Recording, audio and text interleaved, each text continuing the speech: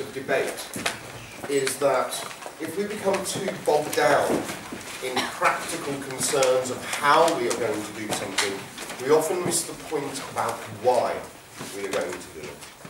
Why is the single most important question we can ever ask of any policy, of any argument put forward by our leaders, by our governments, by institutions who demand our trust automatically. We should question why we trust them in the first place, why we believe their information, but more importantly, why what they advocate is something that we should also believe in. What are the justifications, the philosophical ideas that underpin a particular course of action? Discovering those in your debates is often the key to deepening the analysis that you give. It's also very much the key to linking your arguments both to each other and to the overall value that you're trying to promote as a proposition or an opposition. Sometimes the principles to be debated are principles which both sides seek to claim. Then it becomes easy for the judges to analyse how those arguments clash. Other times, it may be the case that there are in fact competing principles. This is certainly true of some value debates where the clash of principles is explicit. The most common example of this is the debate about security versus liberty. There is very often a trade-off between those two values. We need to determine which, if any, we should prioritise over the other in the vast majority of cases, remembering all the time that our burden is never to show that a principle is absolute, because all principles are conditional. They are conditional on their effect on individuals and conditional on the impact they have on those individuals' ability to act and function as the citizens that we would like them to be. That means, potentially, that some principles may always be more important than others. Some principles are subordinate. They feed greater principles. We may believe, for example, that freedom is important. But we need to question whether freedom is the goal in and of itself, or whether allowing individuals to be free enables them to be something more, something better that we think is even more significant. The idea that as a citizen within a mature democracy, we are responsible for that democracy. That we uphold things like values of truth, justice, fairness, rights provision. All these things go to making what we might consider a better society. But it's how we define for ourselves and others how that better society looks that is important. One of the easiest ways of defining something is to determine what it is not. Okay? By looking at the things which distinguish that value from other elements in our society. It can be very, very hard to give a definition of something abstract that is also concrete. It can be very easy to point to the things where we say, well, there is a lack of liberty, there is a lack of engagement, there is a lack of enfranchisement, without clearly defining what we mean by those terms liberty, engagement, and enfranchisement. Equally, sometimes we might think we are claiming a principle within a debate, but in reality, we're not doing very much at all. It is perhaps a truism of political theory that the value of any statement can be calculated by the simple formation of its antithesis. That means create the opposite statement and see what value that has. Politicians often fall into this trap.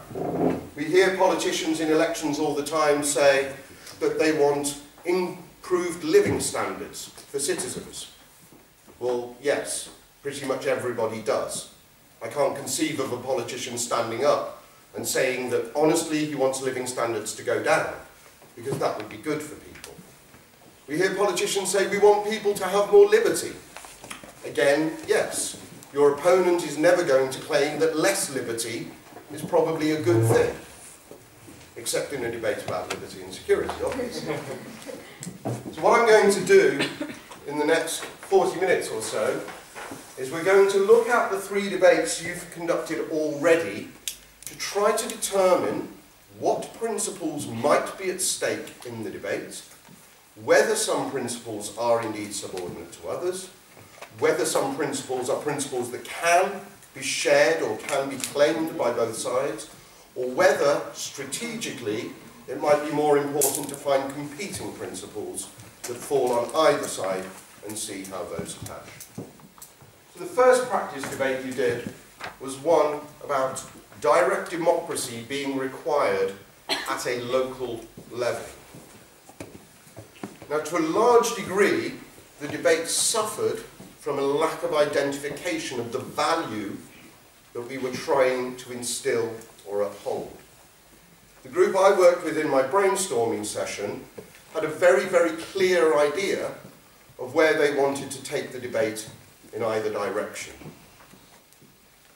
If you're on the proposition in this debate, what is it about direct democracy that you think is good? Somebody want to tell me?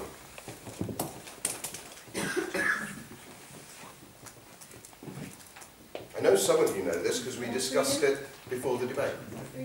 More freedom. Okay? So we might think freedom is important.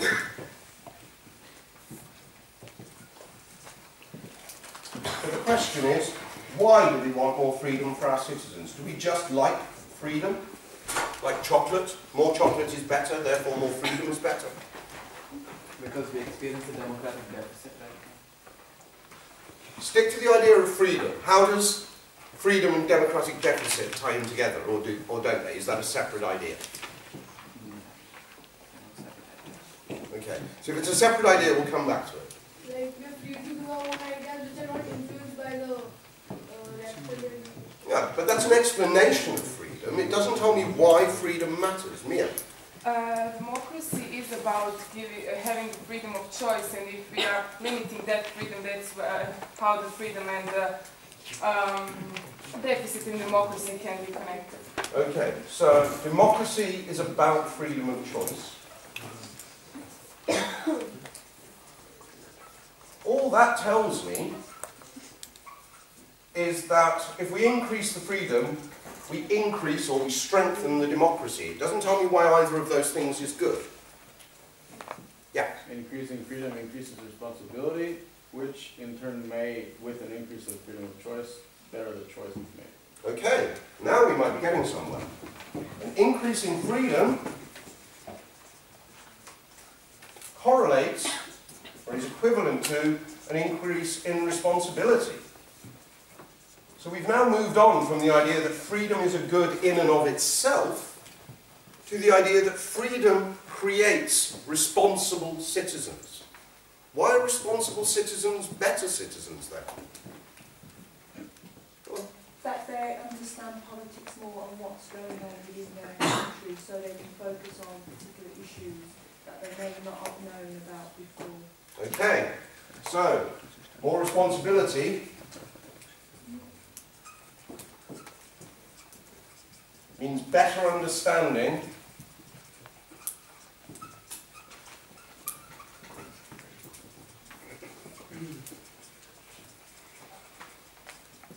of issues that people face.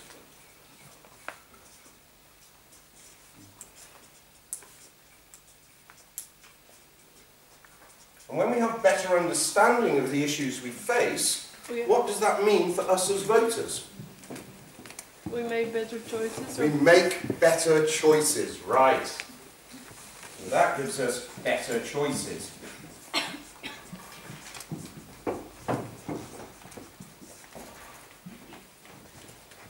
We're finally getting to an idea that freedom is a means to a further goal. Freedom is a means to more informed and therefore better choices within a democracy. People choose to engage on a more significant level. So we might start with the idea that we like freedom, work through those principles to this idea of choices being better, and decide that ultimately that is the value that we want to uphold. In a democracy, in order for a democracy to function well, as a mature democracy, we think citizens, Mr Speaker, should be informed, should be responsible, and should be able to make the best choice possible.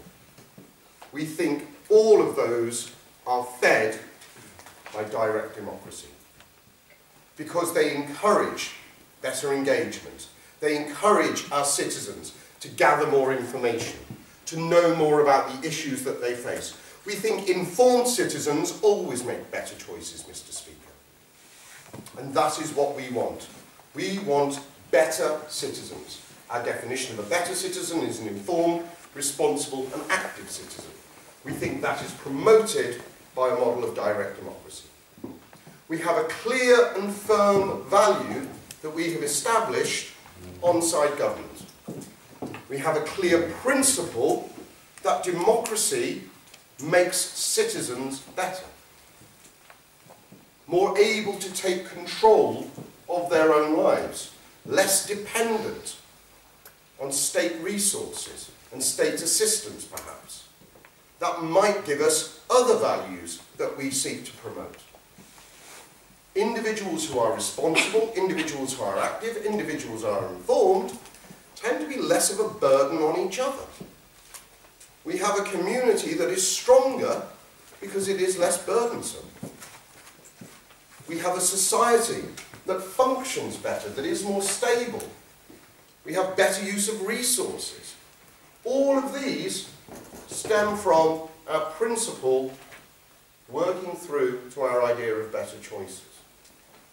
So very often in your brainstorming session, the first principle you identify won't be the principle that you choose to uphold in the debate. It may be a stepping stone to that principle. What you need to do is think clearly about what it is about democracy that we think is good. Very often as judges we hear, oh, well, you know, this is good because it's more democratic. So, sometimes people make terrible choices. I don't think democracy is necessarily always a good thing. Okay? If 51% of the population decide that ginger people are the problem, that's democratic. It's probably not a good decision. Certainly not for me, because when I do have hair, it tends to be a bit ginger. That's why I chose baldness. It was, you know, either or. But ultimately, democracy is never a good in and of itself because we all know about the possibility of what we call the tyranny of the majority. Majoritarian rule is not always moral Direct democracy, however, encourages and perhaps demands of our citizens that they take more responsibility for their actions. That they make better decisions, and they can only do that by becoming more informed about situations. It also, in order to feed these better choices, might demand of our political class that they inform us better, that they make more effort to communicate their message, rather than relying on the standard loyalties that party politics creates. If I only vote once a year and I vote for a political party in a representational democracy, I tend to delineate my choice with broad brushstrokes. I'm either broadly left-wing or broadly right-wing or broadly moderate and centrist. Not every one of my ideas will be contained within any one of those three broad political positions. I choose the one that is the least worst fit for me. And then I abdicate my responsibility and I let the Labour Party or the Conservative Party make those choices on my behalf. Now that doesn't mean that I have any incentive to inform myself about day-to-day situations because that decision is taken out of my hands. Equally, the two political or three political parties in the mainstream have no incentive to explain to me the situation because they are making the decision on my behalf. In a direct democracy, I force those people to campaign better because they require my vote in order to get things done. So I increase the flow of information. And I'm back to this idea that a more informed citizen is a better citizen because they make better choices. So my principle ultimately might be information good. More information better. Direct democracy demands more information. I can choose to frame my principle in different ways depending on how I want my arguments to flow. It might be easier for me to link back to the value of better citizens rather than better information. Why? Because information is an abstract concept. Citizens are human beings. I can relate to an individual human being. I can't relate to a piece of knowledge. Okay? One of the debates I've enjoyed most in my career as a debater was a debate about state provision of pension rights. And I was in a room, it was very, very high level debate. It was at the World Championships, and I was in a room with a team from Harvard who were postgraduate economists, and a team from Yale who were postgraduate economists, and a team from Princeton who were postgraduate economists. And they all had decided that this was an economics debate. And I knew nothing about economics, I still don't. I basically know about supply and demand curves, and that's about as far as my economic knowledge goes. And so they set up this debate which talked about the economic coercion on the state of providing these pensions, how this was damaging to economy and growth as a whole. And I didn't really understand any of it because they used a lot of macroeconomic terms that I'd never come across. But fortunately, I knew one thing that those three teams didn't. And that was none of the judges was a postgraduate economist. But all of the judges were human beings. Oddly, I know, that happens sometimes. so when I stood up in second opposition, I said, Madam Speaker, I have a confession to make. Don't know anything about economics. Can't really rebut what the government side have said, because I didn't really understand it. But I don't think this is a debate about economics. I think it's a debate about people. And I think it's a debate about when people are made a promise by their government that if they work hard and pay into a system, they have a reasonable expectation of being looked after when they get older. I don't think that's a stretch, Madam Speaker. I think that's what this debate's always been about. And what we should really be talking about is the effect of this policy on people. I don't care about the effect of this policy on interest rates because I don't understand them, but neither do most people. We can all relate to individuals, and linking your principle back to people is always stronger in the minds of most judges than linking it back to abstract concepts like economic growth. Because the one thing those teams in that debate failed to show me was why growth was always a good thing. Because if I understand growth properly in economic terms, it means prices go up. Inflation is part of economic growth. To me, that doesn't sound good, unless the money in my pocket also goes up. But as a pensioner, that's less likely to happen, because I don't get salary increases in line with that inflation. So I'm much more concerned about the effect on me as an individual and on the people around me than I am about the effect on numbers issued by a central bank. My principle should always be about people, not about abstracts. So that's the proposition side in this debate. Do the opposition claim the same thing? No. Why not? They will lose. Well, yes, they will. But why will they lose? They don't have to. Or- Or they can say that so they will ha- they will make better choices, but through representative democracy as well. They could. claim better choices come through representative democracy. And they can provide analysis that seeks to demonstrate that. That one of the opportunities we have in a representational democracy is the ability for expert consultation because large populations generally cannot understand all the complex information they need to in order to make informed choices. Okay? So it becomes about not the choices that the individual makes, but it becomes about the choices government make. So my principle on the opposition might be better choices, but that might be difficult for the judges to see how individual better choices arise when proposition have done a pretty good job of showing that they flow from a concept of direct democracy. What I might want to say is, government isn't about empowering individuals all the time. I give a different construction or a different conception of what government means. Government, to me, on the opposition, good governance is efficient. It's able to take views that individuals can't. It is broad in its scope. It views things in the long term and it takes an approach that includes everybody. What's good for me, the individual, might not be good for Ray down here, might not be good for Raoul here. As a government, they have to choose something that is good for all three of us.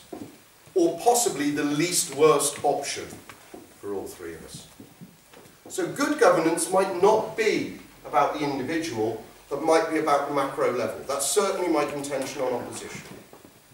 Good governance is efficient, good governance is broad in scope, where individual choices tend to be narrow, and good governance has a long-term focus where my individual choice is necessarily short-term.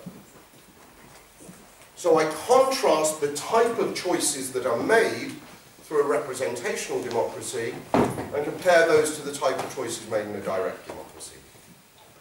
I then have clashing principles. One is individual freedom leading to responsibility and the individual's ability to make a better choice versus the correlative, which is the individual choice might not always be right for the collective. And then I've got a proper debate happening with, between my competing principles. We are both ultimately striving for better government of a kind, but we have different conceptions of how that better government is formed. Easy for both sides then to discover arguments that fit in with those overall positions. When you're brainstorming, very often you don't start from finding your principles. You might start from thinking about the types of arguments you could run, seeing which are easiest to fit together, and then seeing how the principle is derived from those arguments. Work backwards in that sense. When you draw a picture of a house, very often we start at the top and work down. But when you build a house, you start from the foundations and work up. Rationalizing backwards in that sense, discovering your arguments, deciding which arguments you want to run, deriving your principle from that, and then deriving your model from the principle and the arguments you choose that uphold it, very often gives you a stronger, more cohesive case. Okay, that's direct democracy. That's only one potential conception of that debate, but it shows you how, on either side, it should be relatively easy for the sides to determine the principles that exist. Local food. What's the debate about?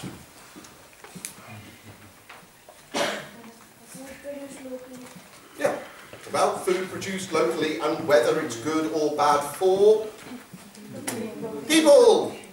Because people matter, things don't. Okay? But what people are we talking about? Who are the people involved?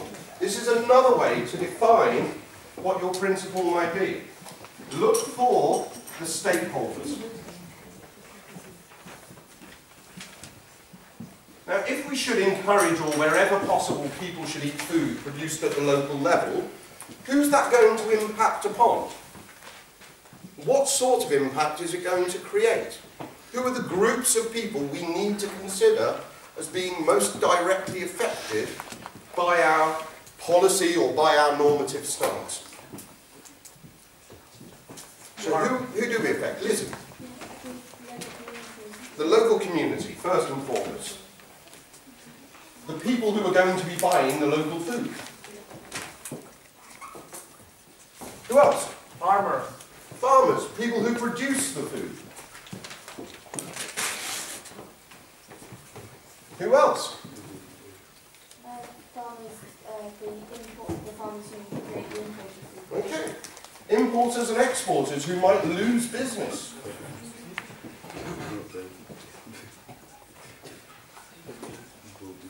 Who else?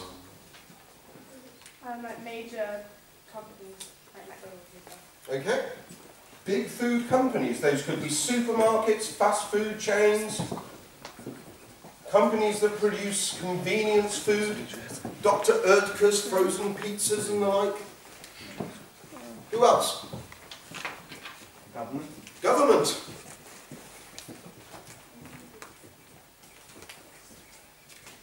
Who else?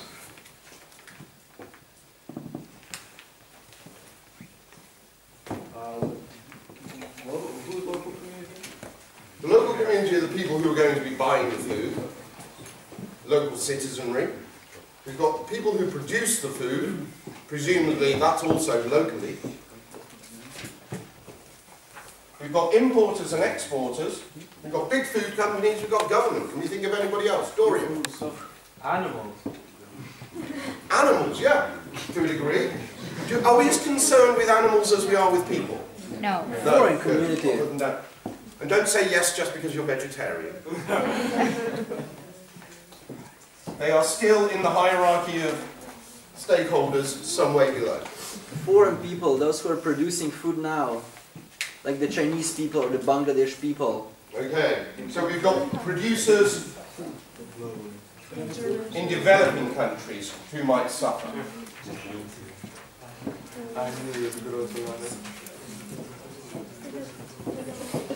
And it is almost exclusively developing countries. I know that Slovenia has a particularly large market in sweet corn.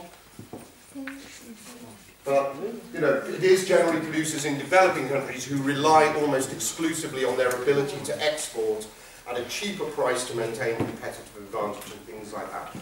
But that excludes what we call cash crop economies.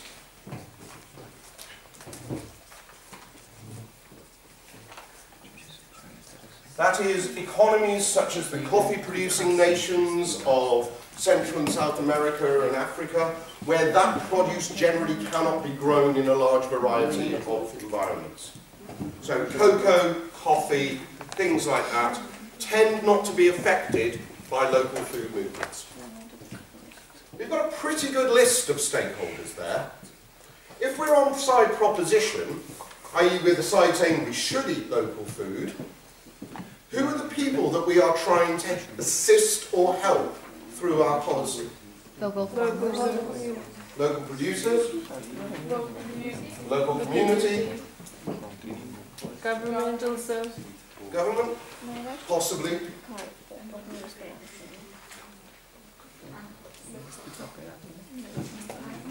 Animals, possibly. I'm going to leave those down the bottom. But those are the people that we want to help. In what ways are we trying to help them? What do we think are the benefits of local food specifically to our top two stakeholders? Uh, local producers have a larger impact and therefore uh, What is the impact on them, um, principally? their products are now uh, on shelves uh, mo- more often Yep. and they gain more, more money from that. So it's an economic impact. Yes.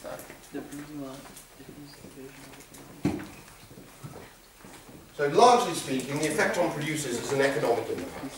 They have an increased market for their produce, because at the moment, locally produced food tends to get sold in a farmer's market once a week. If we encourage people to eat more local food, that presumably means that there will be more local food available in things like supermarkets. what about our local consumers? Is the impact on them economic? No. No. Well, to an extent, because local food is a lot more expensive. Right? And, uh, but if we say that local food, food is not the genetically modified one, it is good to, uh, how do you say that, like, for the longer period of time, because, well, it doesn't give you cancer. So that's a health benefit. So the major impact might not be economic, it might be health. Okay? So there we've got two different principles that both fall on side proposition. One might be the economic principle that we seek to support local food producers over and above those large industrial producers that supermarkets tend to favour because the raw materials, the cost price is cheaper. And we think local producers might, but not necessarily, are more likely to use farming techniques and things like that. Because small scale farms require fewer pesticides. So that's better for the health of the local community, might also be better for what? Environment. Environment.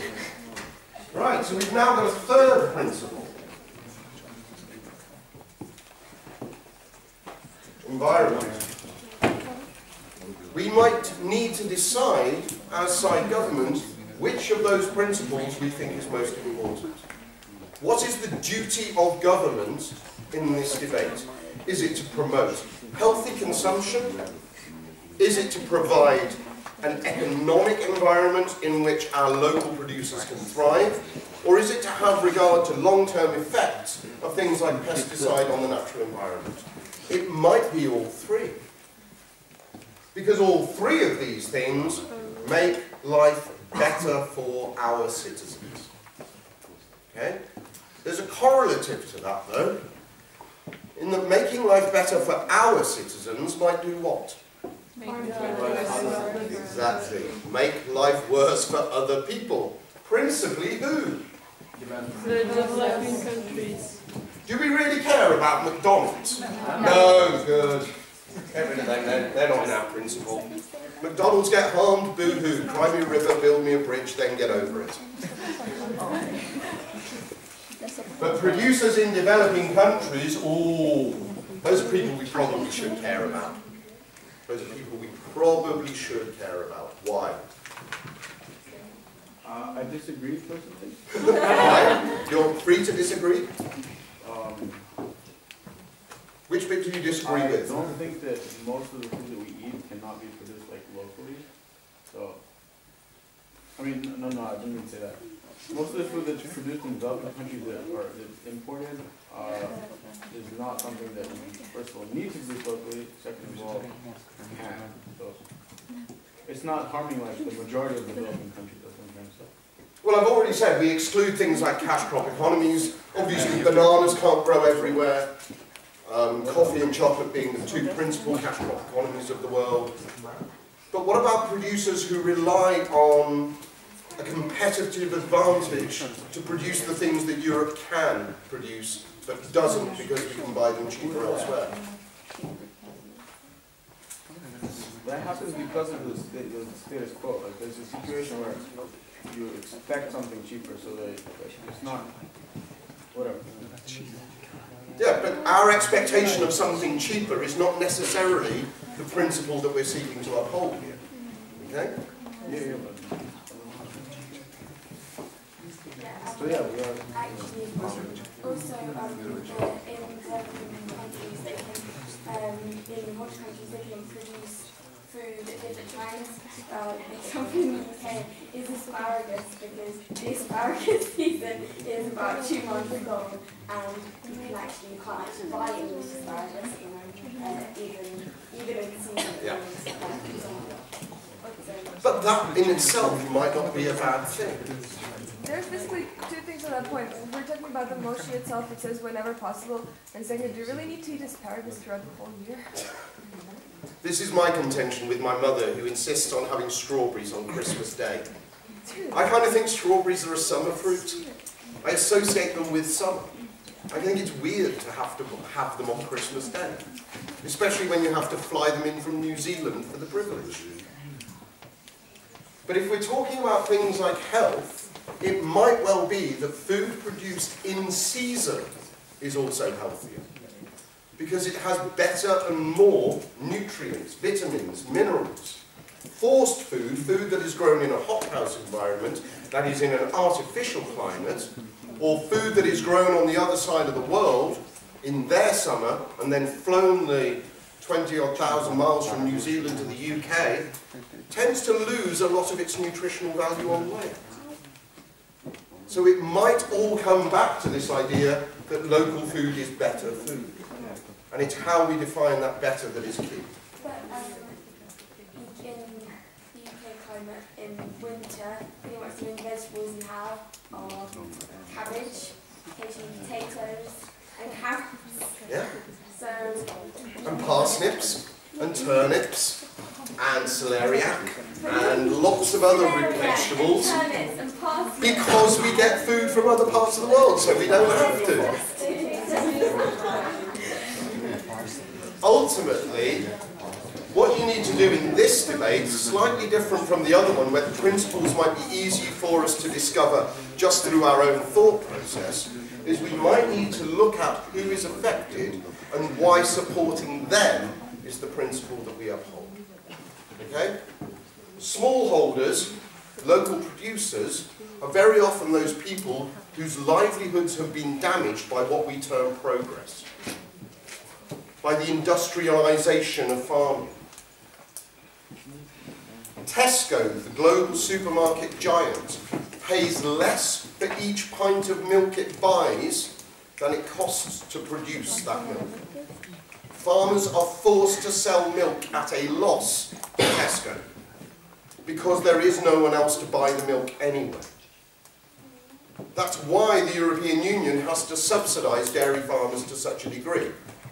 It's not because farmers are wasteful. It's not because the European Union is mad. It's because these people without that subsidy would have no livelihood. And that would create an extra burden on us all anyway. But the real problem is the bullying purchasing power of a Tesco mm. giant. Being able to set the price, purchase price so low that farmers have no choice. So in protecting individuals who cannot protect themselves, we may have derived a firm principle. Is it generally a duty of government to help those least able to help themselves? Yes. That makes for a good society, because we're not all born with the same advantages. So it answers one of the problems of the lottery of life. The fact that the society you're born into, the country you're born into, the class you're born into, is never a choice that you get to make.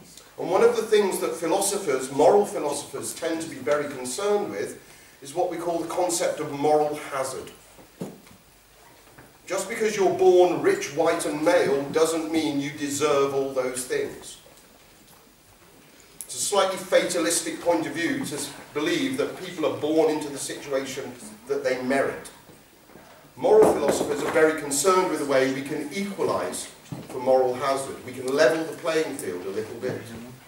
So it might be one of the firm principles of most established democracies that where government aid is given, it's given in those places where it's most needed, where people are least able to take that action for themselves.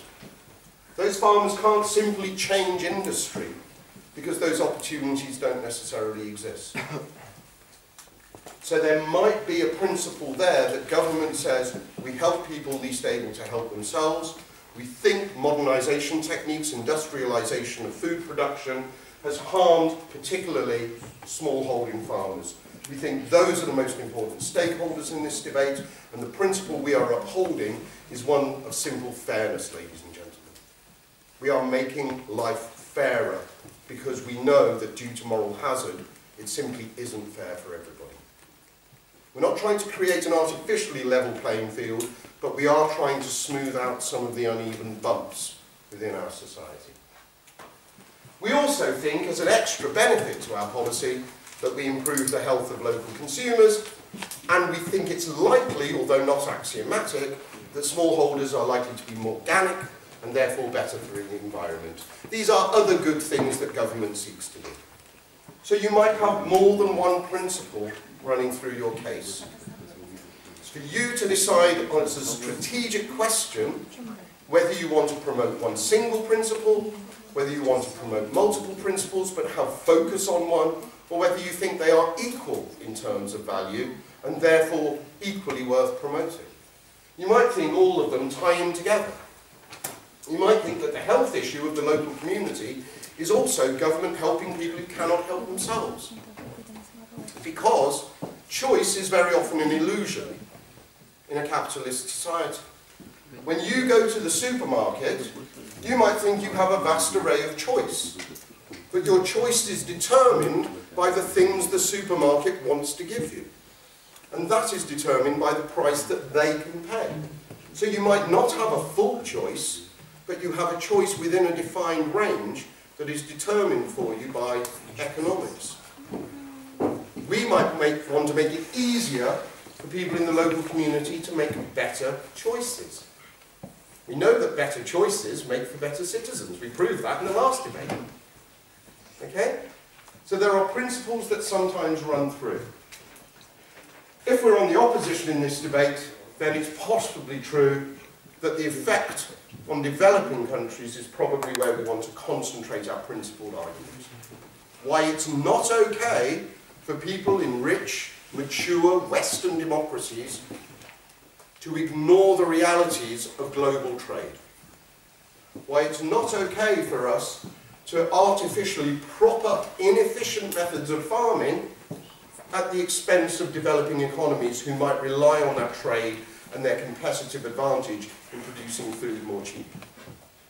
There might be a counter-argument to that, that one of the worst things rich countries can do is buy food from poor countries where there might not be enough food. Does anybody know how much waste we create in the food industry globally every year? Not in terms of tonnage, but in terms of proportion. How much of the food we produce each year globally gets thrown away? Ellie? Isn't it a third? One third. One third of everything we produce never gets eaten by anybody. It gets thrown away. That's quite disgusting. It's also, on an economic level, incredibly inefficient. Okay? As I've already told you, the reason why the EU has to subsidise certain areas of the farming industry isn't because we like to prop up inefficient businesses, it's because we realise that not propping them up would create worse problems. That's not true of all subsidies from the European Union. The common agricultural policy is distorting. It props up farming in some countries more than it does in other countries, for example. It also has an effect on our near neighbours like Turkey, who rely on agricultural trade with the European Union for a significant proportion of their gross domestic product. If we want Turkey to continue to thrive and to remain a more or less stable and secular democracy, that trade might be essential to prevent the government in Turkey from turning more hardline and more against European interests. All these ideas come into play in the same debate, but the way we discover them in this debate is slightly different to the previous. Studying abroad. How are we going to derive our principles in studying abroad? Well, here we might ask ourselves the question, what is the general purpose of study abroad programs? And then we might want to think of a specific example of a study abroad program to see what principles it seeks to uphold. Okay? So give me an example of a very well-known, common European study abroad program. Erasmus. Perfect. So we look at the Erasmus program, also known as the Bologna Accord. Okay? Formulated and signed at Bologna University. Reason Bologna University was chosen? Oldest university in the world. Single oldest continuous institute of higher education in the world. Older than any of the ancient universities of Scotland, older than Oxford, older than Cambridge. Okay?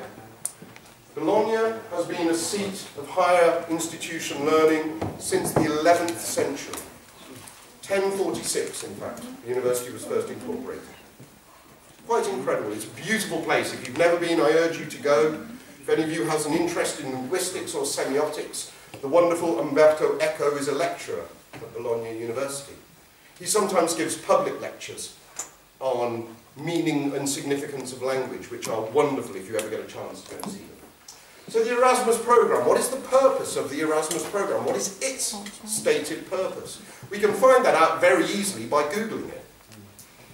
So we don't need a great store of specific knowledge in order to work through in our preparation time where our principles might be in this particular event. We can think of, okay, study abroad. First thing comes to mind, Erasmus. What do I do? I Google Erasmus. I find out what they say their mission statement is. Does anybody happen to know? The cultural exchange, the chance to have a, a possibility, the chance uh, to have a different point of view of what you're studying from a different kind of experts and different community and different way of thinking. Yeah. Cultural exchange, broader perspective, and they have a third stated aim, which is a shared or common European experience. The idea that living in different European countries teaches us more about the similarities between Europeans rather than the differences. Okay? And helps us to understand the individual needs within those countries, etc. Is any one of those individual aims itself a principle? Or are they stepping stones towards a principle? Stepping stones. What are they stepping stones towards, Mia? Towards uh, better quality of um, education, of uh, having a, a better perspective of life itself. Better For you. education, which gives us... Better citizens. Absolutely right. You see where I'm going with this, don't you?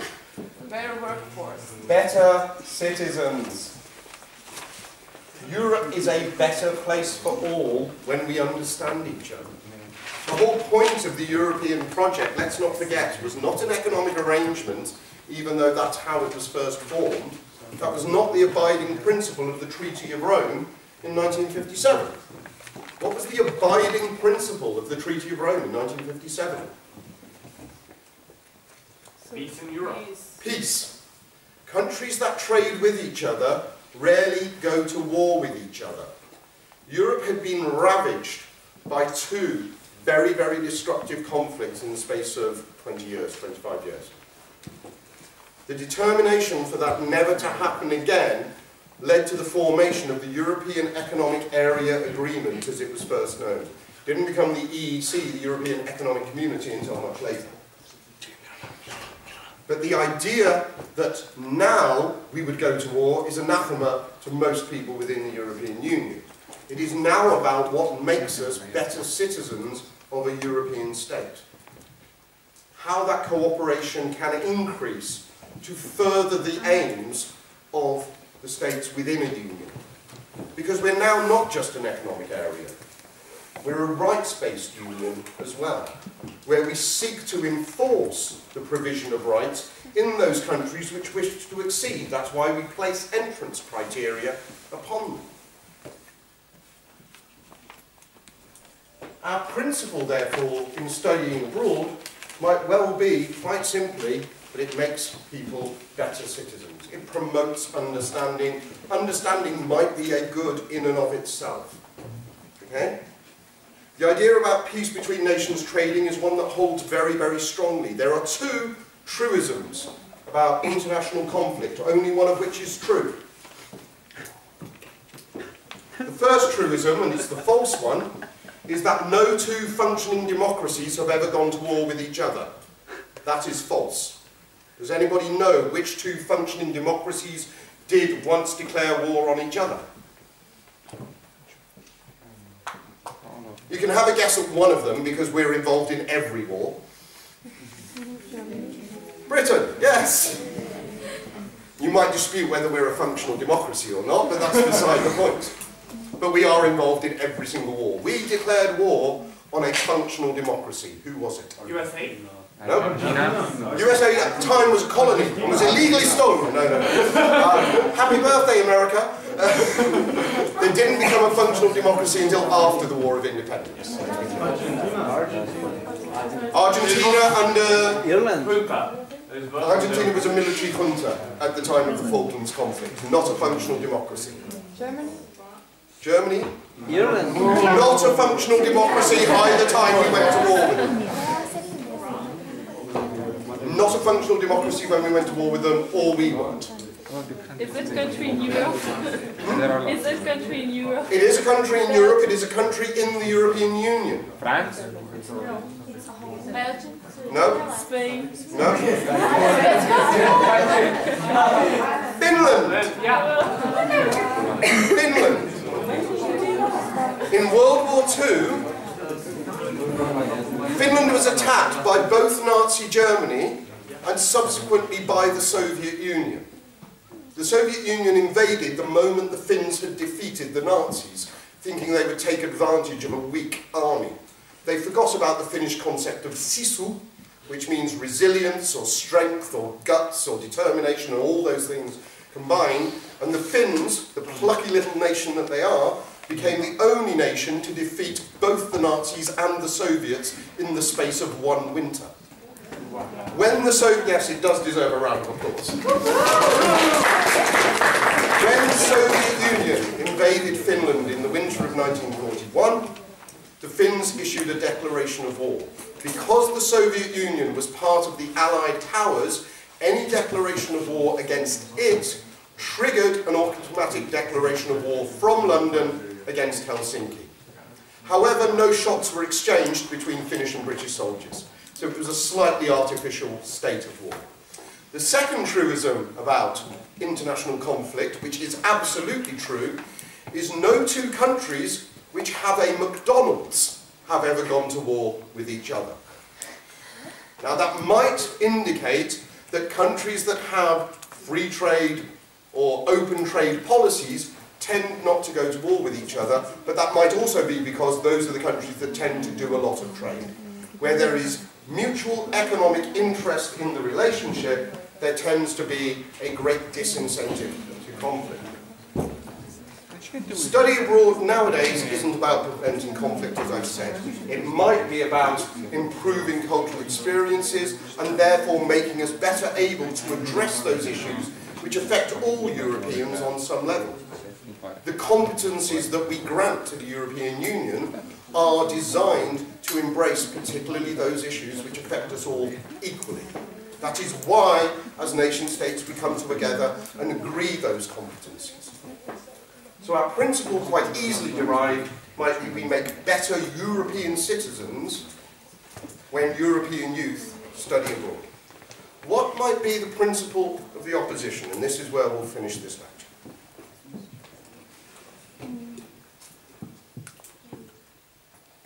They won't necessarily stay within Europe. That's um, an element of an argument, but it's not a principle. Unjust division of intellectual power around the globe, concentrating it in certain centers like Oxbridge, draining other countries of their intellect, therefore leaving them empty and uh, Yeah, undeveloped. Brain drain. Yeah. It might be brain drain because there are certain universities or certain groups of universities which carry a cachet just in the name.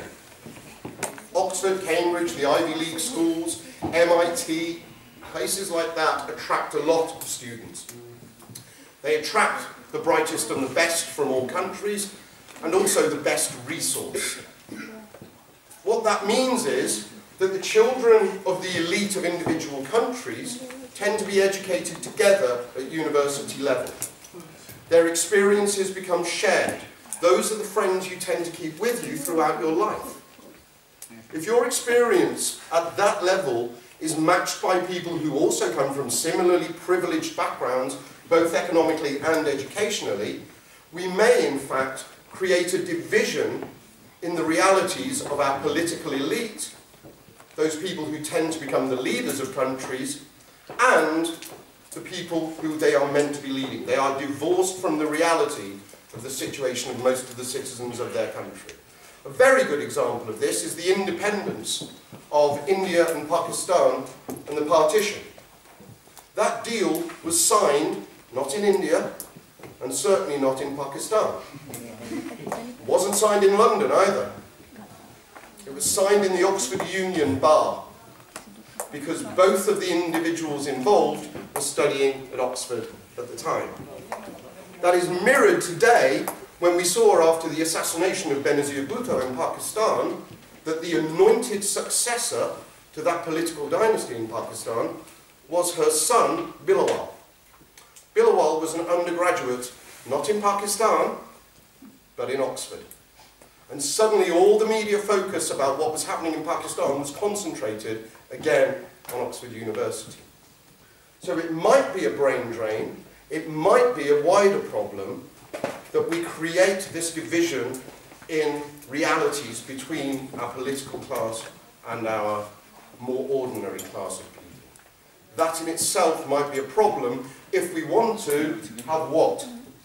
Better citizens. Better citizens, better governance, better choices for better people. Ultimately, many of the principles that you can derive in whatever debate come back to a similar idea. We want to make things better for people. It's up to you, as a proposition or opposition, to define what better means in your context, in your paradigm. What is a good citizen? What is a better citizen? What is a good government? What is a better government? Some principles are almost universal. Fairness is something we should always seek to uphold. But fairness can be interpreted in different ways. Equality of treatment does not always lead to equality of outcome. We might wish to consider which is more important. If we treat everybody equally, that harms who? Minorities, disabled people on a physical level.